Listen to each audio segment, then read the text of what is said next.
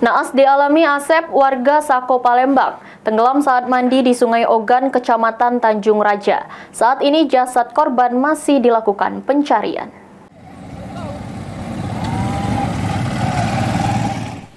Naas dialami Asep, warga Sako Palembang, tenggelam saat mandi di Sungai Ogan, Kecamatan Tanjung Raja. Berdasarkan keterangan Kapolsek Tanjung Raja AKP Hermansyah bahwa korban Asep merupakan kernet sopir penjual telur. Saat berada di lokasi jembatan Sungai Ogan, korban yang merasa gerah ingin mandi di aliran sungai di bawah jembatan. Namun saat melompat ke sungai, tiba-tiba korban terbawa arus sungai yang deras lalu tenggelam dan menghilang. Tim Basarnas Palembang dan BPBD Ogan Ilir saat ini masih melakukan pencarian di tempat kejadian perkara.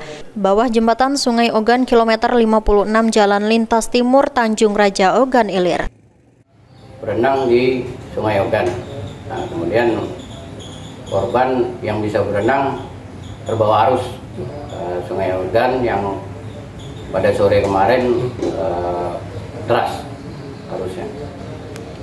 ada impor untuk sementara eh, keterangan yang kami dapat untuk keterangan itu tidak ada. Nah, dikarenakan dua temannya itu sudah melarang korban untuk berenang di situ. Kemudian informasi bahwa korban itu bisa berenang. Artinya hanyut ya sehingga hanyut. Karena e, arus deras. Ahmad Romawi Pal TV